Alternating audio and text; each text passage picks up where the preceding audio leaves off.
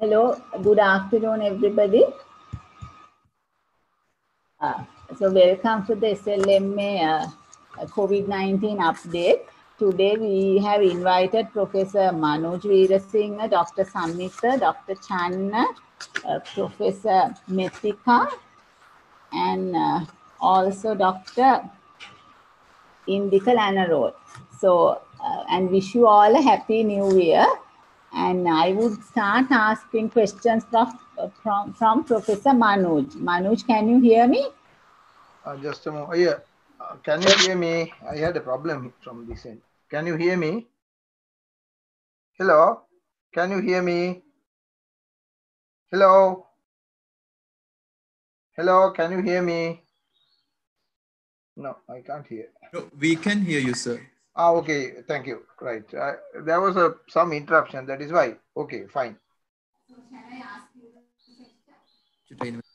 the madam.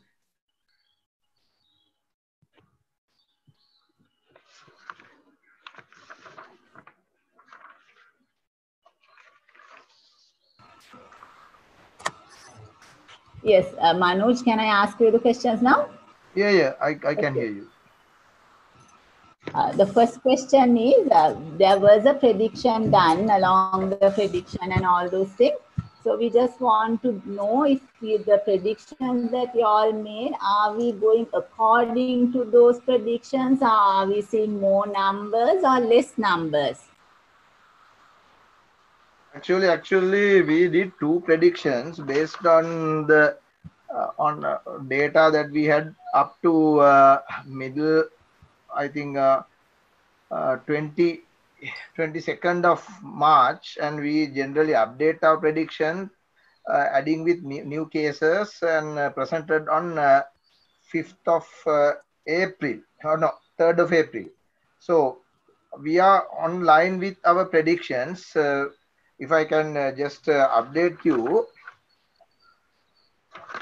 we were looking at the current trends that were going on, and we were looking at if there is at least uh, 10% uh, or more uh, risk coming in, which means that there will be extended infections among the uh, associates of those, and looking at uh, more extended infections uh, with uh, other second and third wave line uh, type of associates. What we have uh, predicted uh, by uh, on, uh, I just give the details, it would be much easier for you to understand. If you look at uh, the predictions that we gave later, we stated that uh, the peak, uh, the peak would uh, somewhere around uh, 177 cases on 11th of April. I have to again emphasize that what we are predicting is the active cases. Active cases and the cumulative cases, there's a difference. Active cases are cases that we are catering to at a given moment of time. So the cumulative cases are active cases plus those who have recovered and those uh, who we lost or who, who passed away. So if you look at uh, at the moment, I think uh, today the active case load is somewhere around 16203. I'm not sure about the exact figure. I think 16203 at the moment, which is slightly below what we have predicted uh, uh, during the first week of April. So we are going along what we have predicted. Our key assumption was that uh, this is still a cluster epidemic and we are seeing actually three active clusters at the moment. And we are only seeing patients mainly from these three clusters. Plus we got one case yesterday uh, outside the cluster which is uh, from uh, heart of colombo. But uh, these are also people who have direct contacts with overseas. So still we are very confident to tell it's a cluster epidemic and our predictions uh, which we have done based on our data is still ready hello again lost I think. my god i lost Shall I ask you the second question? Did you hear what I told? Because I'm not sure whether you are listening. Uh, yes, uh, yes, we heard, we heard everything that you said about the cases and Okay, active sure. cases. We did hear everything. Okay, sure. Yes.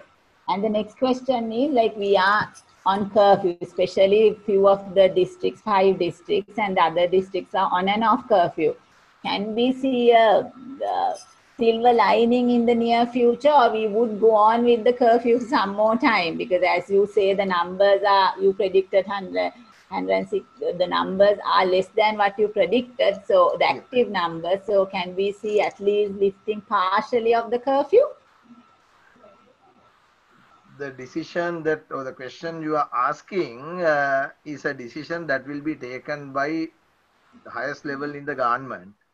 From our side and from the health and uh, others can only recommend things uh, and uh, based on the evidence that we have. So the final decision whether the curfew will be continued, will it be relaxed in certain class, but will continued in certain district, this decision will be taken possibly within next 48 hours or 72 hours uh, at- the highest level of the government.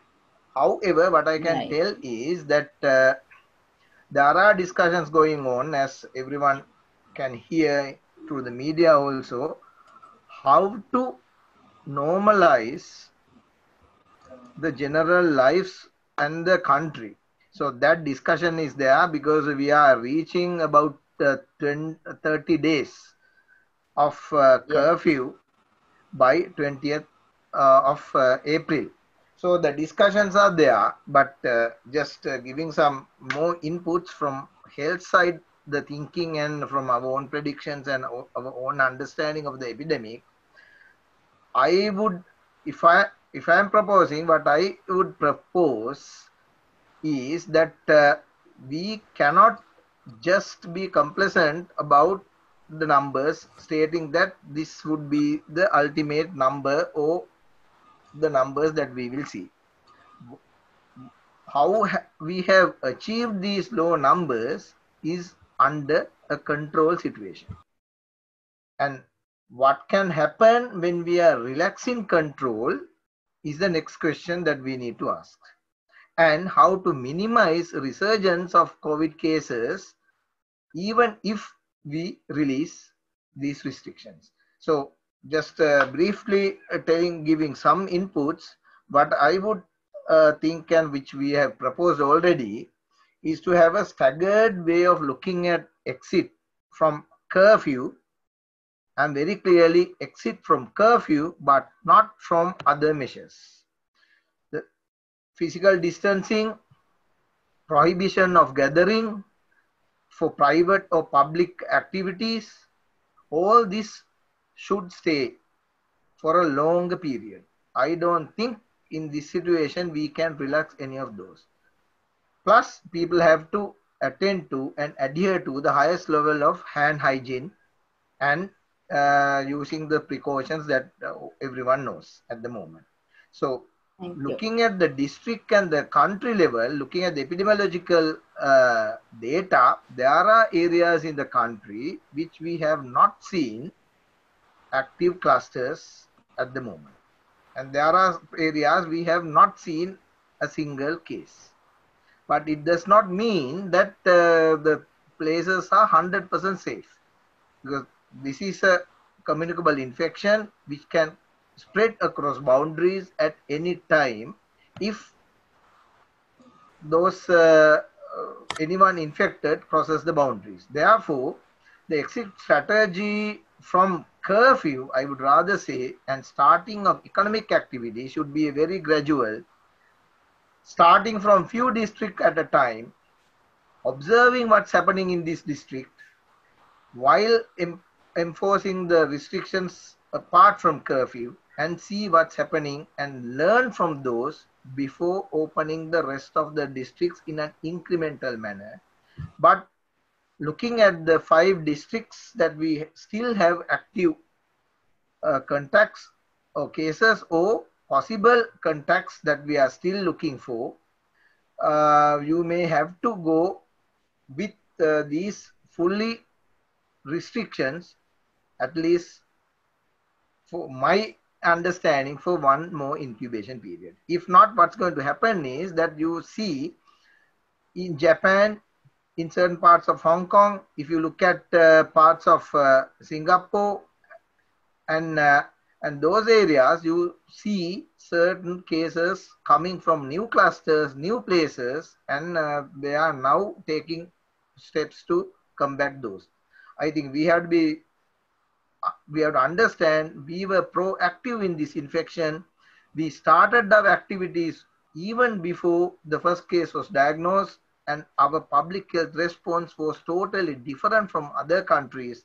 Therefore, we may have to take a unique uh, exit uh, strategy than any other country and we cannot directly copy any of the countries who have really gone through this exit strategy for certain levels if i can tell you yesterday we had the i had the privilege of uh, a very close uh, meeting with chinese uh, from wuhan from the university hospital wuhan professor jan and uh, several of a couple of us from the Ministry of Health uh, organized and joined the meeting, we had a very lengthy discussion of how they went through this exit strategy. Just to tell our uh, medical uh, colleagues, they were very clear stating that still they have pro prohibited mass gatherings.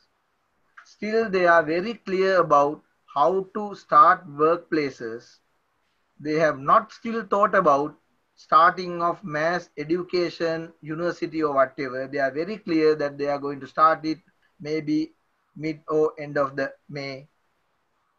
After totally, actually, totally controlling the epidemic, still they have given a very serious timeline and they are now looking at how to work and uh, do things on public transport, who can get out of the uh, houses, how to work in their uh, different places. These strict guidelines are clearly adhered to and if they have suspected any case, they will quarantine them. And it is, and we specifically asked because many people, even in a health uh, situation and staff and colleagues are talking about test, test and test. But they were very clearly stating they have done very targeted testing and when they have done targeted testing, that is how they have prevented a leakage uh, from clusters to another cluster or the general uh, general community. So that is what they very clearly stated. And last thing which I want to tell from that conversation, I asked about this anecdotal evidence and huge discussion on asymptomatic patients. Uh, Professor Jain, he himself admitted he actually uh, was treated for COVID in the University Hospital uh, in Wuhan, he very clearly uh, stated so-called asymptomatic has very little to do with the epidemic. And it's what I understand from our own samples which were tested, the viral load is so low and the possibility of infecting others to asymptomatics from the evidence that the China shared with us and from some of the evidence we get from our own colleagues uh, in the labs, what we see is it's not so serious as many want to emphasize. Thank you. Hello. Hello. Okay, thank you, MC. Uh, you have, uh, like, we wanted to know about the phasing and the exit strategies. You did uh, speak on all of those things. So now I would, I think Dr. Samitha is also there. Dr. Samitha? Okay. Uh, so we also have Dr. Indika Lanarolle. He's a uh, he's a consultant physician at the National Hospital. So I have a few questions to him also because he sees a lot of these patients uh, coming into hospital. Uh, Dr. Indika, are you there? Okay. So first question is, if a person like who comes to hospital with signs of ischemic heart disease, that patient is admitted to hospital with ischemic heart disease, but after some time he's in the medical ward because and then develop suddenly develop features of covid-19 shortness of breath fever and all uh, what should we do then Yeah, it's it's quite a frequently occurring thing, unfortunately, in the hospitals at the moment. So there are two aspects to this problem. One is this, you know, the first thing that would come to anyone's mind is what about the safety of the staff who is caring for the patient. The second one is about the safety of the patient. Before dwelling into any of these things, I just want to make an opening statement. Uh, that is that these are unprecedented times where probably, Dr. Tizera, I can't trust you because you probably may be harboring an infection. You can't trust me because I may be harboring infection. So we have not ever encountered something like this in, in, in my lifetime, definitely. So what happens is when a patient like this comes or when an occurrence or an incident like this happens is the fear takes over. So that is exactly the opposite that should have. So we are scientific people. We are we are trained to do a job. But when the fear takes over, in a scenario where the scientific method should be, the leading factor to govern our decision, that is the recipe for disaster. So as a result, what I have seen is the entire idea of treating a patient like this while keeping yourself safe to like to offer him the standard of care. Either of these objectives are being achieved. So that is why this question is important. It may be a chest patient with chest pain, it may be anything else, but suddenly someone find out, okay, he may be having or harboring COVID. So there are clear instructions, time tested, clear instruction, but if you all can adhere to that, then I think this problem can be solved. Now the current scenario, there are three types of hospital in the government sector. Places like IDH, where they only will treat COVID patients. So I don't think that, uh, uh, I don't think that in a hospital like that, this scenario will encounter. The problem are in the other two hospitals. Uh, uh, then, the, sorry, there are two types of other hospitals. One is like National Hospital, where COVID designated hospital, where suspected COVID patient comes. If in a hospital like that, if this occurs, uh, what we should do? There is a question.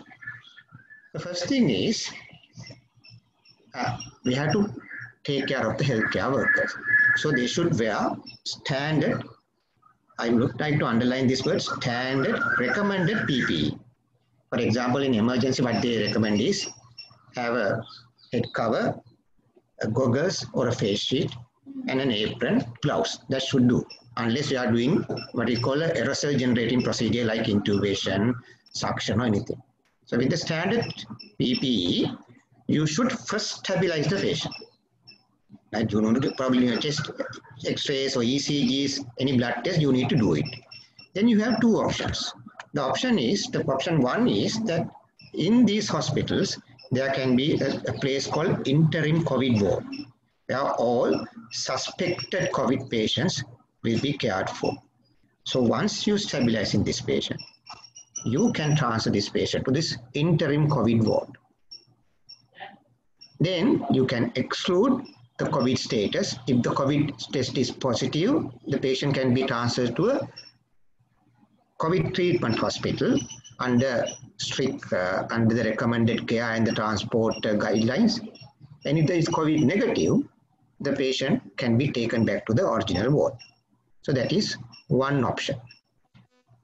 The second option is there can be instances where this COVID ward is ill-equipped to manage a scenario. It may not be chest pain, but something else like a neurotrauma emergency. So what you should do is there should be an area in your ward, this patient, which this patient can be isolated. Other patients can be taken out. This patient is isolated. And then uh, you can do the COVID, you should be doing the COVID testing there. And if it is COVID positive, again, need transfer to the COVID treatment hospital. If it is COVID negative, with the necessary PPE, you can continue the treatment. So this is for the COVID suspected hospitals. But the majority of our, there are only about few hospitals, but less than 30 hospitals who, who are treating COVID suspected patients. But the majority of the hospitals are, are not accommodating COVID suspected patients. For example, place like base hospital Avissawella. Uh, you can name so many other hospitals. So what they should be doing is, again, I would like to underline this statement, with the necessary level of PPE, the initial treating staff should do the whatever needed to be resuscitated, which includes test, imaging, uh, medication, pain relief, anything. After doing stabilizing the patient, you should contact the, the designated COVID uh, suspected or sentinel hospital for your hospital and arrange a transfer after contacting the, the, the relevant consultants. So it's very simple. The first thing is you have to make sure that you have to make, maintain your own safety, but never ever compromise the safety of the patient. Did I answer your question? Yes.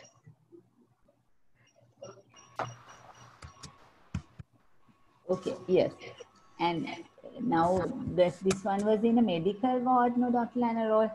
So then the people, the staff can get worried. Uh, should I go for quarantine for 14 days, or it should be all the staff or selected staff? Should I close the wards? These are questions that people are asking. Yes, the simple answer to uh, this question is all staff should not undergo quarantine. There is a way how to determine which whom should undergo to at which level of quarantine. We can explain it later, but simple answer is not all staff should undergo quarantine. Then uh, if a patient who has cough and fever, that patient comes to OPD, I think something like that happened in uh, peripheral hospital. And uh, what is the plan of management? Do we need to quarantine the whole OPD or how do we manage a patient like that? So I think this question is uh, is similar to the OPD ward or any place. I'll tell you how to determine which type of staff should undergo quarantine. Right. Now we have to understand that this patient is only COVID suspect. They are not COVID confirmed. Uh, so there's a clear guidance given by the Ministry of Health in by way of a circular which stipulate how to determine the exposure and what need to be done for the healthcare workers. Right. So uh, until the tests are being done, if it's in OPD, the patient will not be kept here, will be sent to the ward. But if it is a ward where the patient cannot be sent to the COVID suspected ward and he's been in isolation, what we should be doing is the, the original staff who was caring for the patient should continue the care for the patient, maintaining whatever the standard medical care until uh, wearing the proper PPE until the test results come, right? Then if so this is until the test results come. But the problem occurs if the test results, there are two things that can happen. One is the patient can be COVID, COVID negative. Then there, are, there is no problem. Right? So one can go back to their old ways and you can continue the, the function, the ward. But the problem comes if the patient becomes COVID positive. That is where the issues are. So there's a guideline which is being issued by the uh, Ministry of Health which says what to do in case of an exposure. There are five simple questions that they would ask uh, where it will tell you whether this exposure is significant. Then uh, what the, the documents say in the hospital premises, why I am telling about this guy, this circulars, but no, which, which was issued about two weeks ago, but apparently it is not being put into practice. So it's good that we can get into get this moving because then most of these questions will not come up. So what they say is after asking five questions, you can determine if the patient is a, like a mild degree exposure, a moderate exposure, or uh, severe exposure. If it's severe exposure, yes, you should go for quarantine for 14 days. What is recommended is home, home quarantine. If it's mild exposure, you don't need to do anything. You can continue to work. But if the symptoms occurs for some any chance, because when, when it comes to mild exposure, it has been proven in research wise that chances of you getting the COVID infection from that particular patient is is is bare minimum. So you don't need to do anything. You can continue to work. In a moderate exposure, there is a way of doing. I'm not going into detail into that. There's a way of categorizing the risk, and then uh, it will advise you what to do. So if you all can follow this particular circular, there won't be a question of you know entire ward is or entire OPD is being quarantined. Thank you, Dr. Lanarolle. So the this circular is in the website of where can they get the circular? It should be there in the it should it should already be in all the all with the, all the directors. I know it was fax and it is there in the epi, epi, uh, epidemiology unit website and the Ministry of Health website also. So if somebody wants to, they can download it and read it. And Yes, it's, it's, it's a three uh, three of eight very simple document. There are two algorithms, one for the asymptomatic patient, uh, asymptomatic healthcare workers, and one one for uh, symptomatic healthcare workers. But it's very clearly documented what to do. But only thing is, it is not being unfortunately, it is not being followed. As a result, haphazardly wards are being closed, quite unnecessarily putting the life uh, danger in the lives of so many other people also. you mean so many other people in the sense is patients or the uh, It's mainly the patients because I think I fear at the moment the way that is being transmitted, there will be more non-COVID related deaths than COVID related deaths in Sri Lanka. Okay, thank you, uh, Dr. Lanarolle. So we have Dr. Samitha Ginige. Uh, Dr. Samitha, are you there? Yeah, yeah, I can hear you. Yes, uh, he's uh, the deputy epidemiologist at the epidemiology unit. Thank you for joining in, Dr. Samitha. Uh, now, we see that yesterday the DG said we didn't have any cases, so the number of cases we see are going down. So, uh, can we say that we are successfully containing the outbreak? No, there's no straightforward uh, yes or no answer for that. But I, what I can say, but I can, I think there is no black and white answer for yes or no answer for that. Anyway, epidemiologically, what we can say for the time being, we were able to uh, contain up to a reasonable level.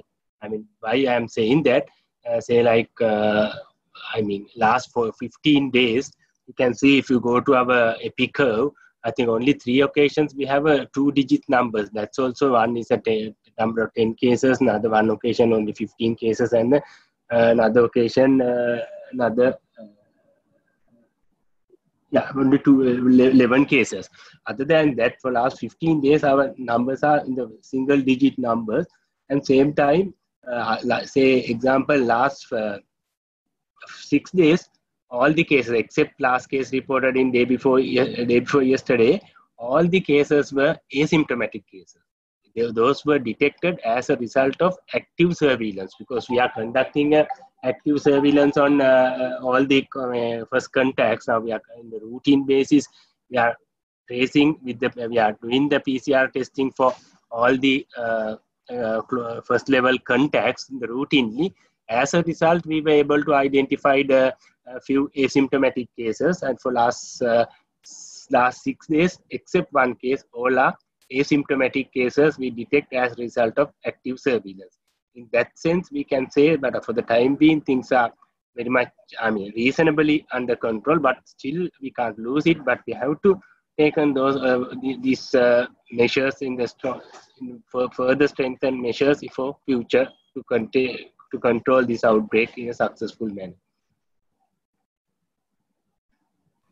Uh, the next question is the last one. I think the two, 238th case that we got was from hospital, and Yeah. that patient has gone to India. But it's about after 30 days that the patient has got an infection. Can it be local transmission or a community transmission?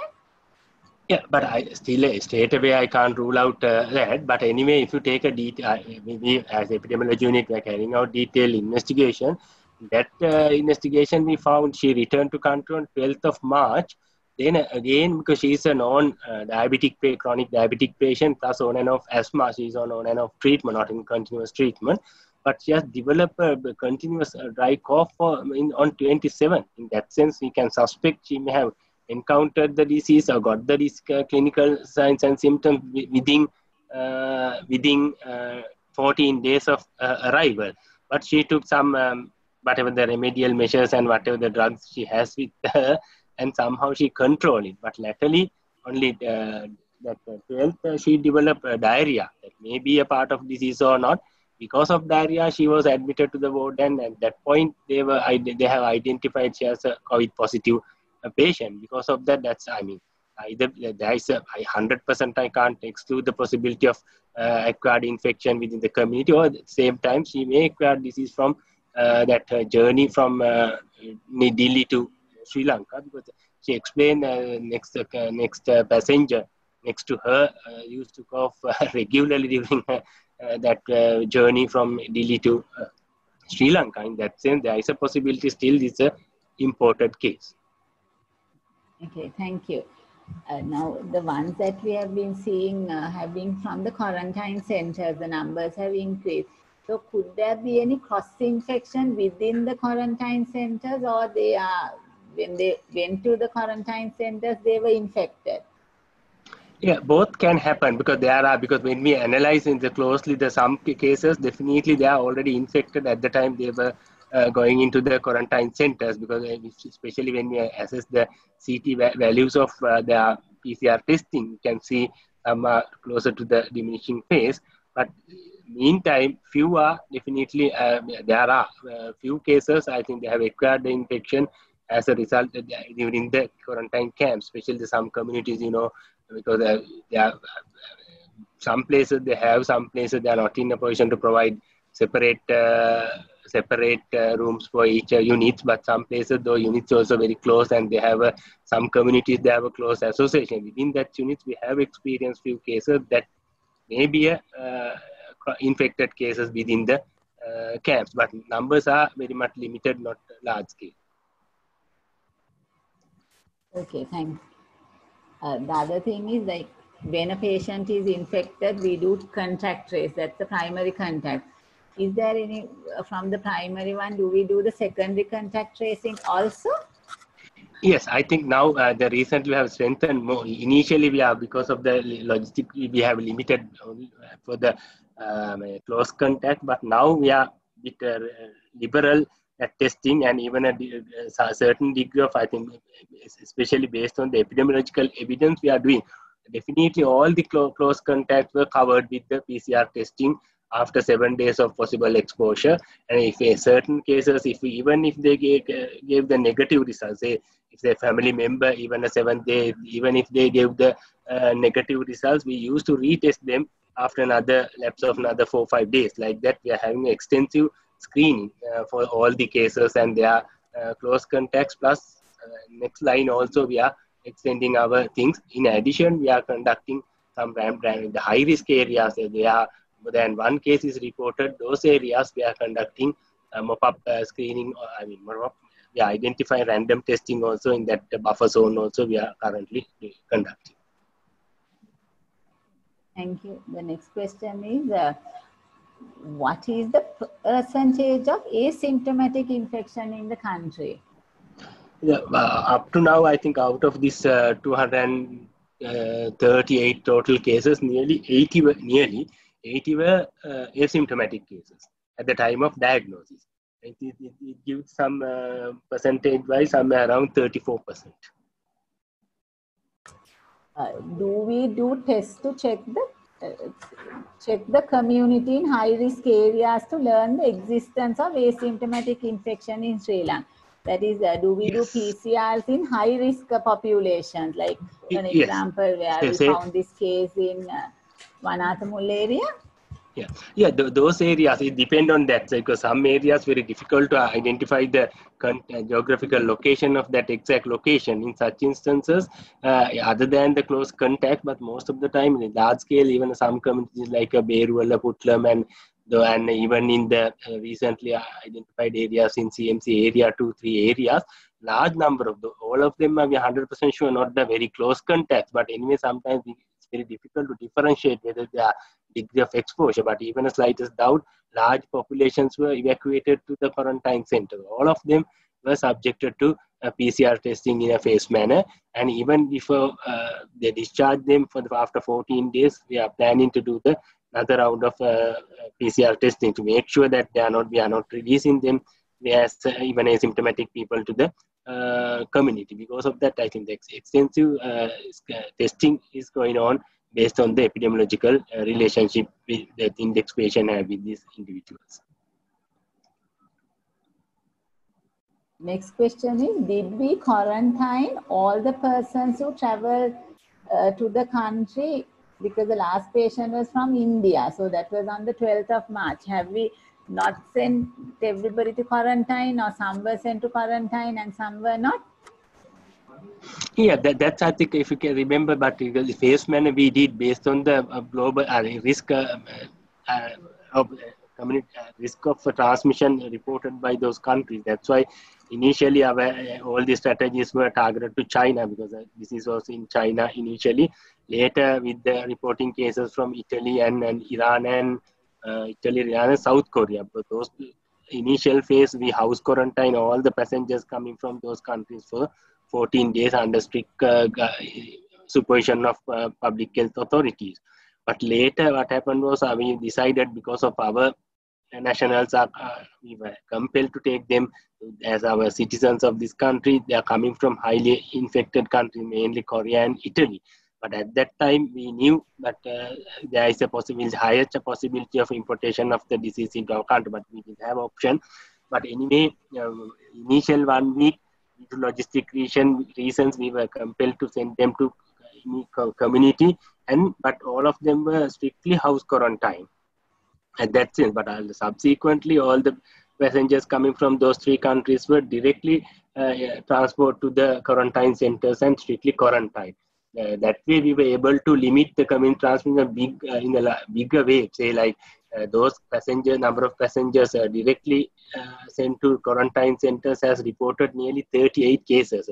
Say by chance, if we uh, let them go into the community, that 38 may have infected more another batch of uh, another people in the that those communities but uh, other other cities other people who uh, travel to other countries like india indonesia those countries at that time not reported large number of cases but anyway as a precautionary measure, measure government has asked them to strictly quarantine anyone coming from those of any country after 1st of march but that's why even all the cases recently identified even asymptomatic cases even that case you referred visa. I mean, the, the Indian lady came from India.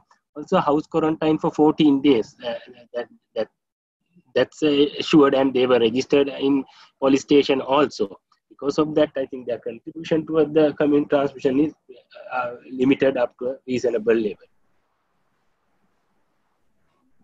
Okay, thank you, Dr. Samitha. Is uh, Professor Meththika there? Professor Meththika? Yes. Can Dr. you hear me? Yes, yes, I can hear you. Uh, she's from the Sri Jayewardenepura University. Professor Meththika, our question is, please explain about the groundwater level in Sri Lanka which prevents burial of these COVID-19 uh, patients.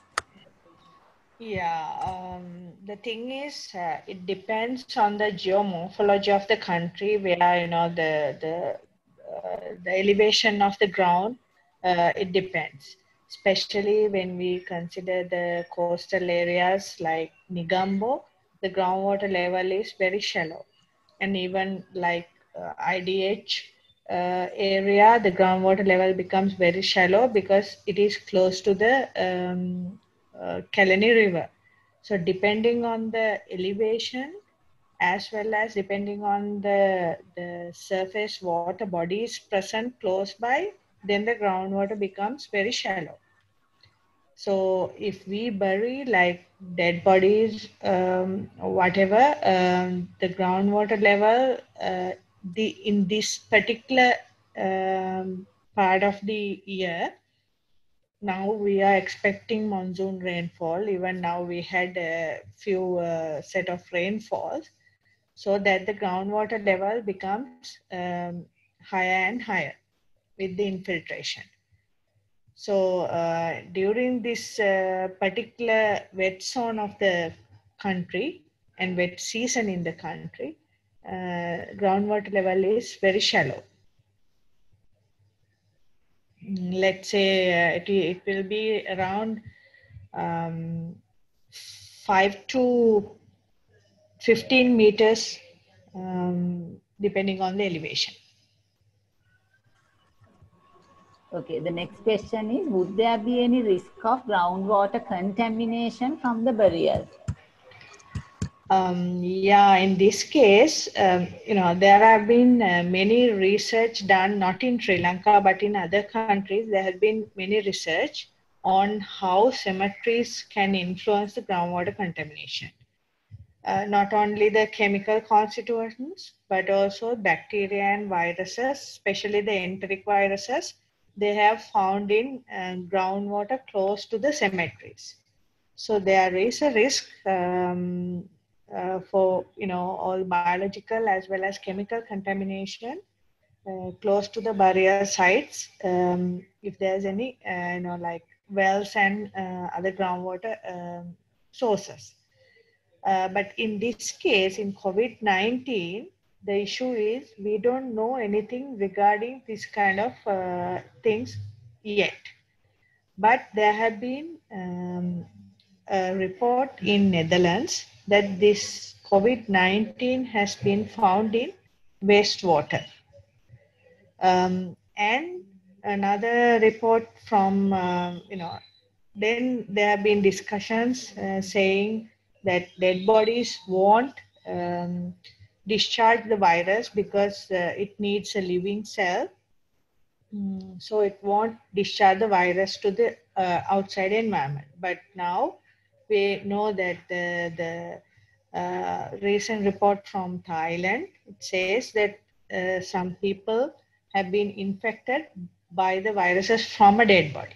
So there have been uh, some um, findings now coming up saying that COVID-19 is also finding in wastewater. So if we find COVID-19 in wastewater, why not it can live in um, surface water uh, or the, the normal drinking water.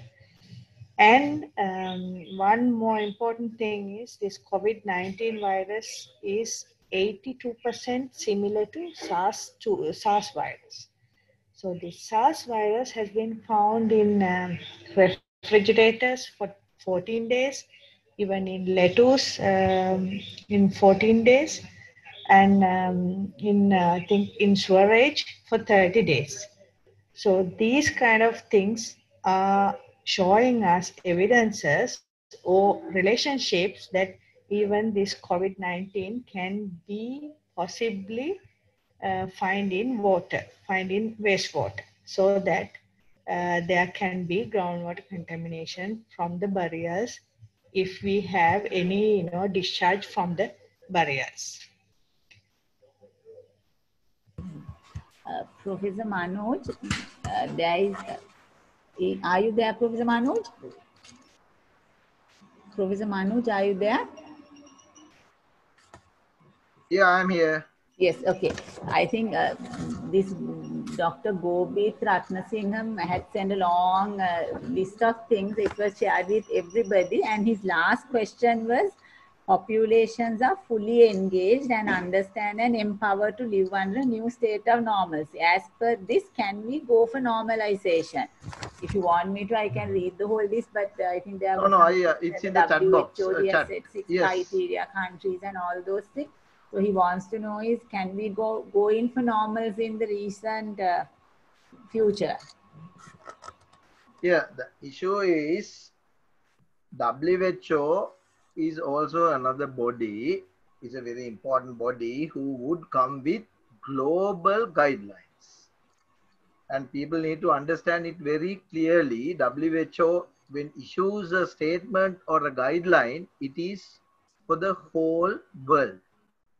And the countries are there to look at these guidelines and understand it and see how can we use these guidelines in our context.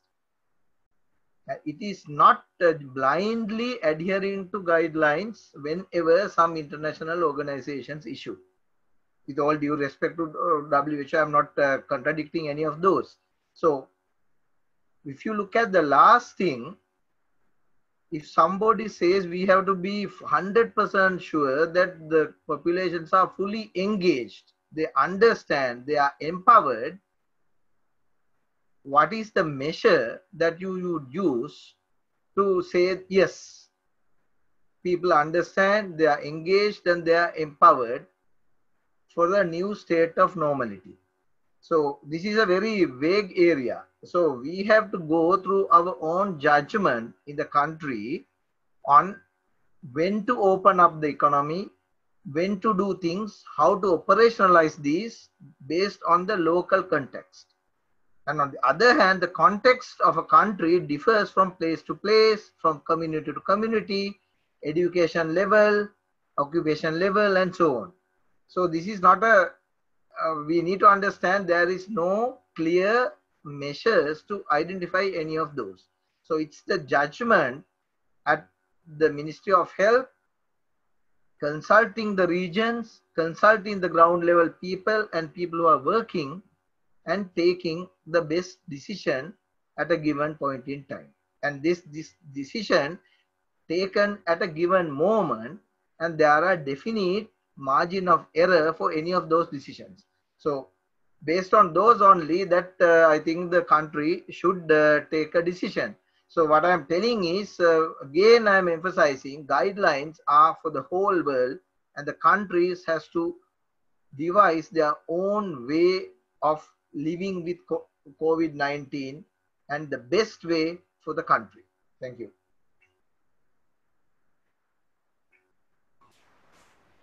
Uh, there is another question.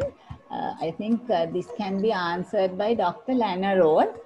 According to the latest clinical practice guidelines of Ministry of Health dated 4-4-2020, case definition of suspected COVID-19 under C, history of travel or residence in a location designated as an area of high transmission.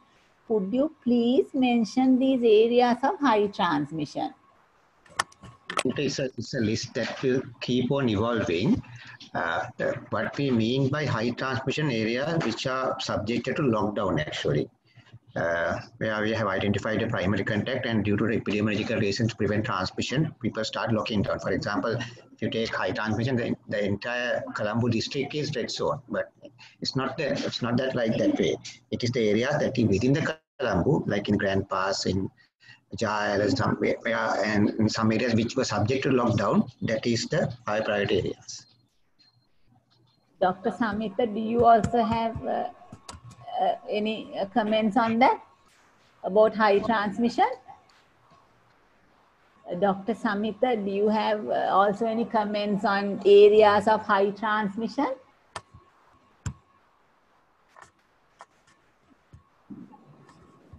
Next question is again for you, Dr. Lanarolle. Uh, is fever an essential criteria to diagnose a COVID suspect? Although it is there in the guidelines, some cases had initially presented without fever. Not at the time of the diagnosis, but it says with a history of fever at any point of illness. So that's how it should be defined. You may not have fever at, at the time of admission, but the, the criteria say history of fever at any point of the illness. So it, it you may not have fever, but it's a, it's about 98%, I think, if I, if I may remember correct, of these people have had fever who are symptomatic. Okay, thank you. Again, uh, another question is loss of taste you have not taken as a reason for diagnosis. I know it was very contentious issue, but uh, people who have presented with anosmia, yes, That is one of the presenting features, but I know the guideline committee has a lot of arguments over that. Now, probably in future we might like uh, we might include that as one of the criterias. But as far as my knowledge, uh, people whom Sri Lanka, people were diagnosed as having COVID, very minimum number, or I don't think there's anyone actually. I can't remember. I, I don't know as per my knowledge. Uh, so that was the reason that it was not included on the 4th of uh, April, uh, uh, the new version of the case definitions. Yes, but it has been reported in some countries. I agree. Dr. Channa, are you there? Yeah, yeah, yeah, I'm there. Dr. Channa? Can you hear me? Ah, yes, yes. He's the JMO at the IDH hospital. Welcome, Dr. Channa. There are a few questions. I know you were instrumental in making the guidelines uh, of uh, what happens after death and all those things. So the first question that we have is there is much debate about cremation. Are we still going with it and what is the scientific basis of cremation over burial? Yeah, this was in fact much debated, and uh, the the current position is uh, DGHS has issu- issued a circular on 1st of April in relation to the the guideline which became a circular, and subsequently even the quarantine regulation was amended to facilitate cremation in uh, COVID deaths and diagnosed COVID deaths and suspected uh, to be COVID. This was signed by the Honorable Minister. So the present law in the land of Sri Lanka is cremation in COVID, diagnosed COVID deaths, and if somebody has died as a result of suspected COVID. Now, uh, so that is the current, the legal background of it. But you know, uh, justification was long debated. As uh, one of my colleagues mentioned of WHO, WHO has given guidelines for the, the whole universe, you know, I would say. But we should, it also says we should adapt the guideline according to our needs and according to our uh, standards. So when it comes to Sri Lanka, I think Professor Vithanage, I missed her uh, the presentation or the speech. I know her personally. I think she may have explained you the, the, the groundwater level, how shallow it is, and how it can get it, the, the water can get contaminated. Uh, and and also we are going to experience monsoon rain soon soon. So if you read today, now uh, America has I mean there's a there's an article from US that they have found uh, coronavirus in graves I read it today. And two, three days ago, we got a publication. Uh, actually, this was published in one of the forensic journals in UK that some of the uh, forensic pathologists were infected uh, from dead bodies. So what we want to say is, we are talking of a. Can you hear me? Hello? Can you hear me? Hello? Yeah, we can hear you. Yes. So we are talking of a virus which is unknown and it is uh, just of three months of age. We are talking of an infant.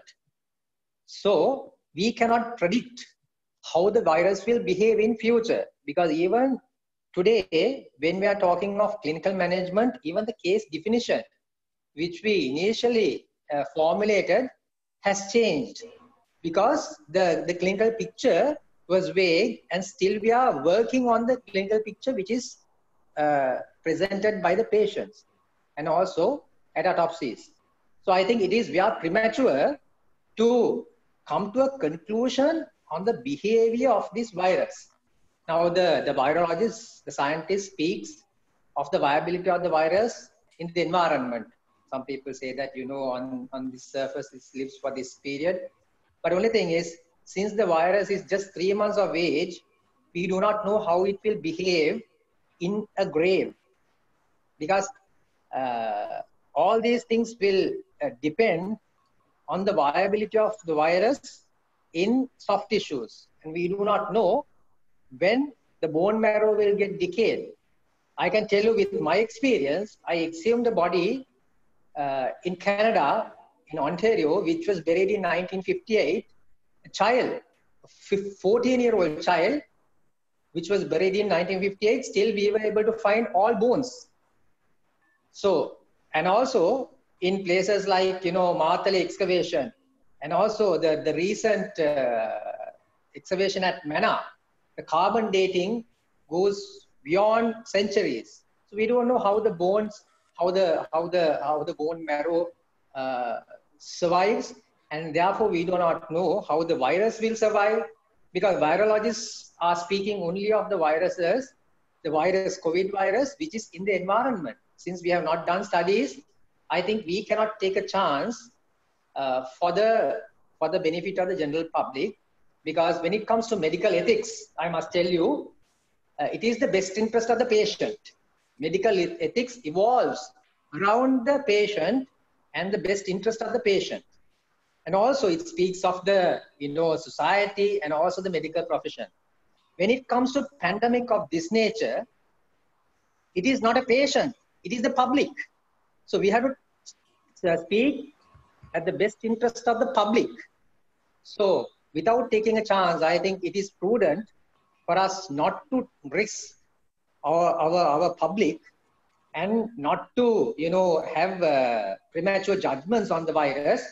But what we can do is, with, when the science evolves, you know, the six months or in uh, one year's time, then of course the, the people may do research and say, okay, look here, the virus survives in a in, in a burial site only for this period. Then of course, at that point, we can discuss something contrary to what we have decided today. But I think for the best interest of the public safety, it is best for us to go for the cremation. But I must tell you one more thing. This is the recommendation of the of the of us, which we have uh, recommended. But eventually, the safety of the public is in the hands of government. So let the government authorities decide based on our recommendations. Our recommendation is exclusive cremation at this moment. Thank you, Dr. Chan. Uh, the next question is, if a person dies suddenly at the OPD or, or at home with symptoms of COVID-19 but not has uh, not been tested, how should you proceed? Do we need to test the person and how should we dispose of the body? Yeah, so we, we are talking of on arrival deaths. I must couple this question with your third question as well, which you have sent me, because the the the, the management of this dead body is similar in your your first question was cremation and burial. Second question was with symptoms. Third question was uh, with uh, contact history. Am I correct? Yes, the first question is the person has symptoms of COVID 19, but we have not tested the person. And then how should you proceed? Yeah, so if the patient has symptoms of COVID and if he has died on arrival at the OPD, then of course, first of all, the body should be, must be placed in a body bag. That has to be done at the OPD as soon as the patient has died uh, we have advised not to keep the body for two hours uh, as we do normally in this COVID situation due to various reasons. But the doctor must be certain that he has confirmed death. And the patient is not in a state of suspended animation, which I which will take a longer time for me to explain. So at uh, the modern days, the doctor should be able to confirm death scientifically uh, even without waiting for uh, two hours because two hours is there to develop postmortem changes such as rigor mortis. I think we should not wait for two hours, but to place in a body bag. Now, how to do this? You should have body bags at the OPD, and inside of the body bag should be treated with uh, sodium hypochlorite. It should be treated elsewhere, not in the places where the, the people are there and the patients are there. And the body should be placed in the body bag and close the zipper. And, uh, and also once the zipper is closed, again TCL, I mean uh, sodium hypochlorite should be spread on the body bag on both sides. And then this should be uh, transported to a designated area, which is preferably the morgue. In a designated trolley, there should be a trolley which should be designated for this purpose. uh, by the mortuary staff or the designated persons and kept in a designated area even in the morgue. Now then, the next question is we have to take samples. Now in uh, deaths where the cause of death is not known, even if the cause of death is apparently natural, uh, the clinicians are not in a position to give the cause of death. Therefore, this warrants an inquest. And at the inquest, when the inquest, at the inquest, we have advised to the Minister of, to the Secretary to the Minister of Justice, not to give an apparent cause in these kind of deaths. So it will invariably come for an autopsy. Now, the samples can be obtained at the autopsy, but you know, it is uh, preferred that these samples are being obtained as soon as possible uh, before the virus will die. So we have a practice. Uh, I, I, I, work at Mulleriyawa, IDH and uh, mental hospital, all three hospitals. This practice, because now ideally for a forensic pathologist or a JMO to uh, touch the body for an autopsy, obtaining sample is a part of the autopsy. There should be a, a judicial order from the inquiry into sudden death or the magistrate. But our practice is we have we have a understanding that as soon as possible, even before the inquest starts, we obtain the samples. Certainly at the morgue, and we wear uh, PPE, full PPE, and obtain samples. And uh, I mean, you can take, uh, you know, uh, nasal swab, oral swab, but preferably what we do is we take a, a tracheal aspirate and uh, depending on the situation, we take a Tru-Cut biopsy of the lung through the, with a small nick, small incision and a nick through the intercostal space. Uh, Dr. Channa, the next question is uh, the same way if a patient dies suddenly, but no symptoms of COVID-19, but with a contact history. Uh, do we go with the same procedure or is it a different procedure of uh, disposing of the body and testing? It is the same procedure. There's no difference. Because again, you have to place it in a body bag, as I mentioned. It should be taken to a place, uh, designated place in the morgue, and it should be, the samples are taken the same way. Then the last question for you is, uh, if again suddenly dies at OPD or home with no symptoms and no contact history, then how should we proceed?